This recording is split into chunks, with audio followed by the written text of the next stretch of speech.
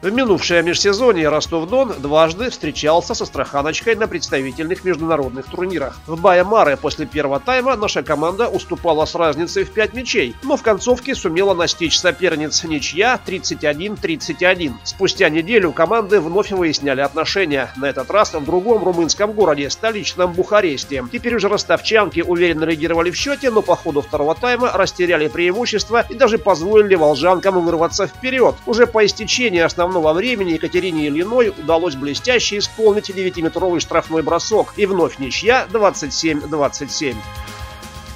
Безусловно, Астрахань э, на данный момент очень э, хорошая, достойная команда. Э, не зря она идет сейчас на втором месте. Она уступила только «Звезде» э, на выезде. Прошла хорошая селекция в этом клубе. Много играет игроков с национальной сборной. И каждый игрок достоин э, внимания, чем мы сейчас и занимаемся э, эту неделю. Э, и тактически, и э, практически разбираем их игру и каждого игрока.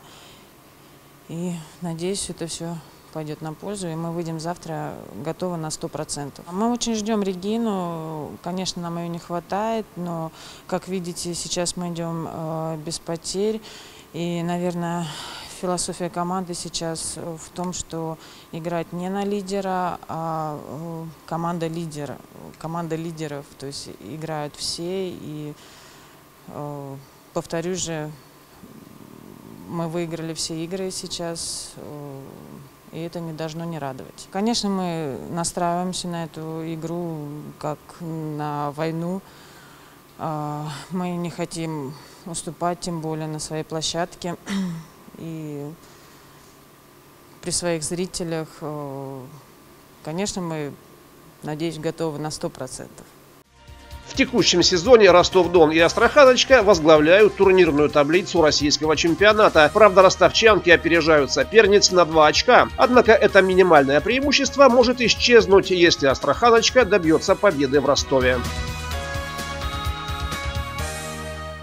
Я думаю, что соперник очень серьезный, самый серьезный, наверное, в чемпионате России.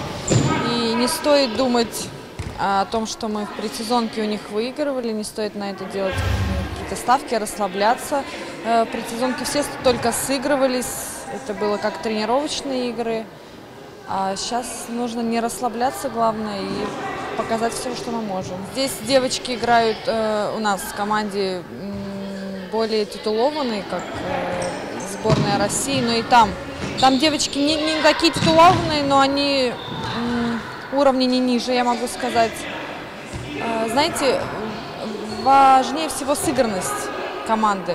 Э, можно как э, пример брать, собрать всех звезд, а ничего не будет играться, и не пойдет игра, ничего. Главное сыгранность. Поэтому лидеров сравнивать, не знаю, тяжело. Победили Кубань, но был провальный второй тайм. И главное нам собраться и не провалиться опять. Ну, у нас как может как пойти игра, так и не пойти. Я думаю, главное настрой. Поединок между Ростов-Доном и Астраханочкой начнется 29 октября в 19 часов в Ростовском дворце спорта.